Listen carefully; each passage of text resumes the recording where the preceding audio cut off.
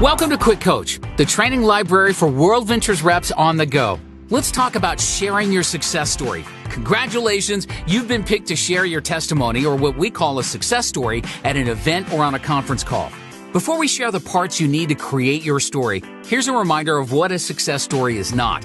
This is not the time to represent, resell, give training tips, or try and close the room by telling them to join. Facts tell, but stories sell. That's because they're authentic and make a connection. Sharing Dream Trips experiences, if you're a member, and having solid rep success stories is probably more important than the presentation. When our friends hear from people they can relate to, it'll help them feel more comfortable to get started and hearing multiple stories validates everything they're seeing. Okay?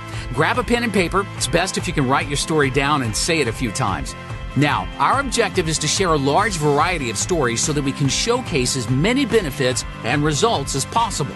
But people will naturally lose attention if this takes too long or if there's a lot of repetition. So, it's critical that you share your story in 30 seconds.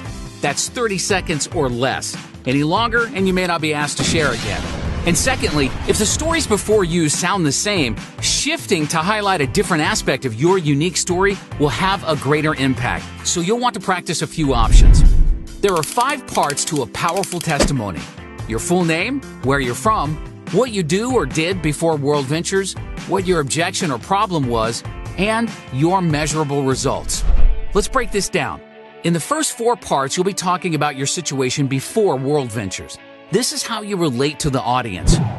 You'll want to state your full name, where you're from, what you do. This is what you did before World Ventures. So that could include your education level, your job or career, your family situation, are you married, you have kids, etc. Then, part four, say what your objection or problem was when you were introduced to World Ventures. So if it was related to vacationing, it might be something like, I always wanted to travel, but I never thought I could afford it. Or maybe it addressed the opportunity. My income dropped and the bills kept stacking up. Or I was skeptical, but I trusted my friend. Or I was a little nervous because I'd never done something like this before.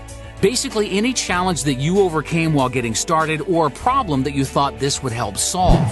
Next, to transition from part four to part five, you want to state that you got started.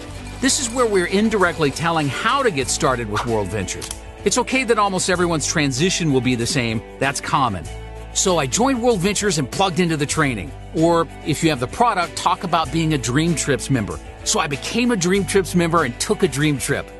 Lastly, part five, your measurable results. Now, we've noticed that sometimes people think their stories aren't impressive enough, but it's actually the smaller and more recent stories that have the greatest impact. Your truth is good enough. There's no need to exaggerate or embellish. We only want people to become a customer, a rep, or both if it's right for them. So we aren't trying to impress them, especially by sharing your income. You never know how it will be received. Instead, your story should be your actual results and represent the amount of time and energy you put into your World Ventures business.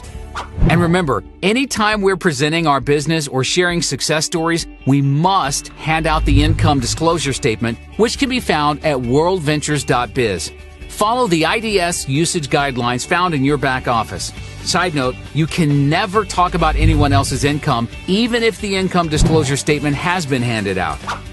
If you have the product, some great topics would be how amazing your dream trip was, or some daily local savings you've experienced. And on the business side, you can mention some achievements or training results like, after applying what I learned from the trainings and putting in the work, I now have four active customers and World Ventures is thanking me by waiving my monthly fees. Or if you've reached a significant achievement like qualifying for your wheels, or a lifestyle story like, I now have more time to spend with my kids.